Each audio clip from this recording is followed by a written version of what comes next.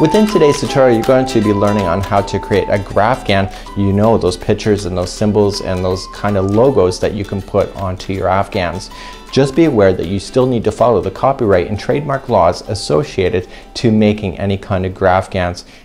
So now it's time to create your own graphs and there are several ways of doing so. You can do it old school, you can do it new school, it doesn't matter which way you do it. But just remember that you have to honor the copyright and trademark laws to not do anything that you're not allowed to do when it comes to making trademark logos on top of your projects. So what we want to do then is that we're looking at a graph and one thing that you need to really pay attention to is that and this one is especially bad in mine. So I have created the entire alphabet, all the numbers, the symbols, and upper and lower case and I found with my test samples that having one single crochet standing by itself is not very effective and in actual fact it doesn't look good at all. So if you look at my actual project that I did you can see that the M is a lot more thicker in comparison to the actual project that was available. So what you're gonna do is if you're going on the crochetcrowd.com and you're using these, what I need you to do is that to the left of the actual diagrams here, you will notice that there's somewhat shaded boxes in different shades because the pixelation never caught up in everything. You want to look carefully to where it's somewhat shaded and fill it in. For example right here this is shaded but it was really hard to tell and I noticed it when I was on top of my desk so I shaded it in just to make sure that I'm not gonna miss the story. For my particular uh, fonts that I have on my website you need to add two extra boxes to every one of the items going to the left here this is just because it's shaded and it was just hard to tell. So what I if you do that what happens is that you can thicken it. So you could go in both directions of going on the other side but then you'll lose this whole M right in the middle. So no matter what letters that you're picking up to when you're making these you need to make sure that the outline of whatever you're doing is at least three at least three um, stitches across in order to make it effective. Once it gets down to one it gets really sketchy. And so you'll notice that when a lot of people do these online is that you'll notice that their outlines are really quite thick and that's the reason for it because you really do need it for these kind of ideas. You got to think about this is back in the 1980s and, and early 90s when we had dot matrix printers. So let me take you up to the computer and I'll show you how to do other ways of making these graphs. To find the letters that you're looking for when it comes to making your graphs all you just need to do is go to the search button right here. And then say your name is Kathy with the, with the C then all you can just say is capital. We're gonna say capital because it's a large letter capital C. Put it into the search and the search button should actually bring up C. So there it is here. So you just have to click onto the article when you get there when you get to the article, just scroll down just like so. You will notice advertising that is in the article. That will not print out when you're actually printing this. To print out the graph, all you just need to do is push print. You will notice down here that there's other suggested letters that are based on that one and you'll notice that they're all in uppercase. So if you want to make more words, you can simply do that or just go back to the search button on the top here and enter in a different letter.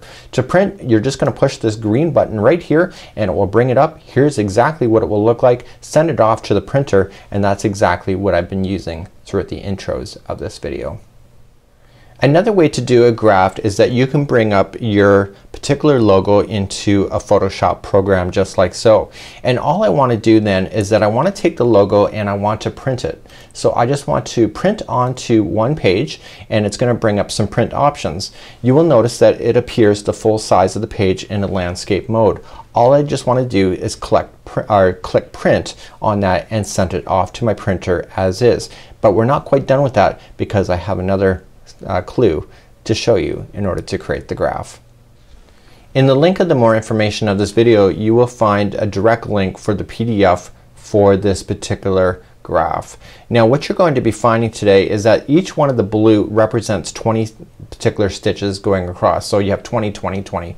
This graph here is 140 stitches wide by 200 stitches deep just like so. So to put this on top of the other logo that we had been working on all I want to do is just then click print to be able to print this again and send this off to my printer as is. So now I'm going to superimpose one over top of the other. Now I don't like to ruin my image like I have here just in case I screwed up. So I take an extra photocopy of it just to make sure that I have an extra on the side just in case. And I want to make sure that I got my copy on. It's one and I make that. If you screw up it just saves you time to be able to do it later and it's something for a backup as well. So I'm going to keep my logo safe just in case. So now what I want to do is that I want to put this back into the paper feeder. And you got to remember what side is up and what side is down. And it doesn't matter which way that you have it turned. The graph is equal on either side. So I want to put that back in and I want to put my graph paper into the photocopy element as well. And I want to make sure I do a color print if it's just easier. If you don't have color, it's okay too. And I want to make sure I'm doing a copy and I do it. So basically what I've just done now is that this is going to photocopy the graph on top of my logo so that I have a working copy to use. So I've now just pressed print to the actual graph itself and I have my paper already in so when it comes out cross my fingers that the graph should be on top of my logo and then I'm ready to that and crochet with this. So voila, here it is, and this is a graph ready to go. We still have to do a little bit final touches with this graph before we get started, but this is a great starting point. Another technique that you can do, and this is your third Another technique that you can do is that in the more information link of the video there will also be a pattern just like so. So it'll be an actual picture. What you can do is you can bring it up into your Photoshop or your kind of uh, artistic programs, whatever you have. And then essentially what you can just do, for example, you can just go and look at logos and etc. And you can push these logos on top. So for example, say that I want to do, um, I'm thinking of a Queen's Crown just like so. So I'm going to grab a queen's crown. I want to make sure it's in a color that I can actually see well. So I'll do it in red. And all I can just do is that I can put the queen's crown over top just like this. And I can put her right into the center, just kind of lie it up like this. But you will realize that she is missing the graph behind. So all you just have to do at this point is just make her somewhat see-throughable, so transparent, and basically the image will then appear and you will basically have the graph to be able to make an Afghan just like so. So you can do this the same even with letters. So if you want to say for example that you are the queen, so you can say queen. You can do any kinds of fonts that you want to do. You can make up your own artwork.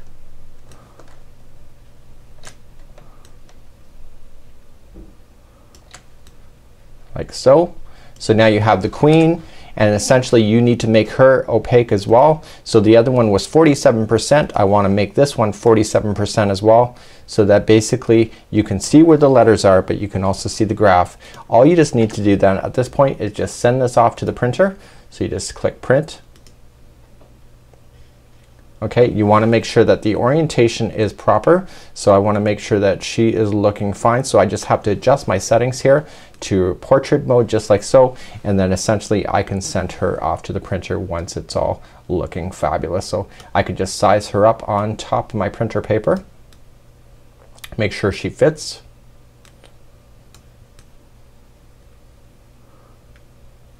I want as much of the graph as that I can. And once you have that established, you can just print that off and essentially you have your own artwork and you can create anything that you want. Another way to make graphs is that you will notice that when I did these a year or so ago, you'll notice that I put digits on here and I put tape lines and matching things together. I did that on purpose because I felt to my point of view at that time if people really wanted to mix and match letters they could do so. So what I have here is actually my letters that I have for my website and I printed out one of each and you can see that I've cut my items here. But all I just did is I matched up the lines. So I decided that there was going to be two boxes in between each one of the fonts that we have. And so essentially I just cut my lines and I taped everything together so it looks like a solid piece.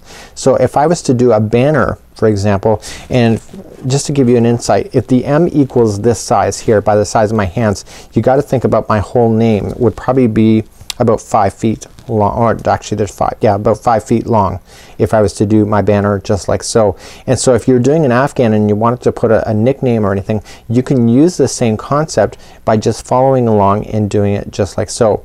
just remember that if you are adding this to an Afghan that is not already a Graphghan, you gotta make sure that you're starting off in the proper way that the letters will be on the front side of the Afghan if there is such a thing. And you don't want to make sure that you put it on and your letters are all backwards.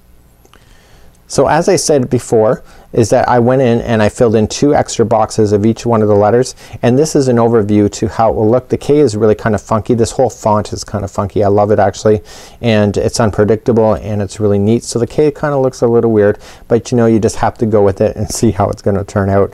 Um, overall it'd be really easy to be able to do this project uh, especially in the middle section here and it'd be a lot of fun.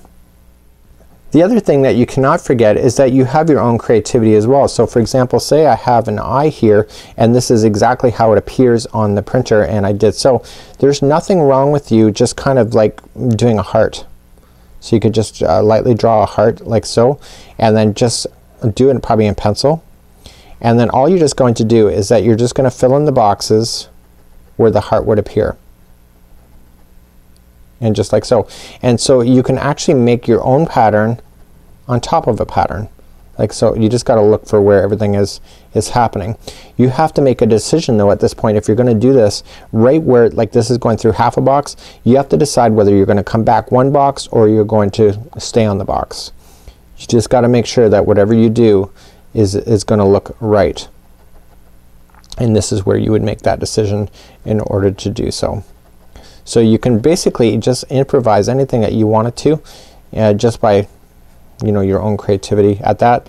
I would look for items that are being symmetrical so if I'm gonna fill in this box make sure you fill in the one on the other side just to make it look all even and then you can add anything that you want when it comes to your own creativity on top of an existing pattern and then just commit to it once you get that point.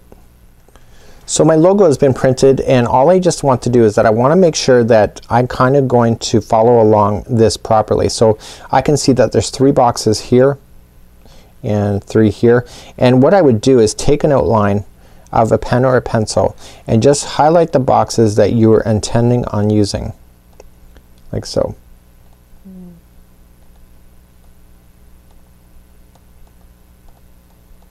Because there's gonna be some of these letters where it's halfway through a box.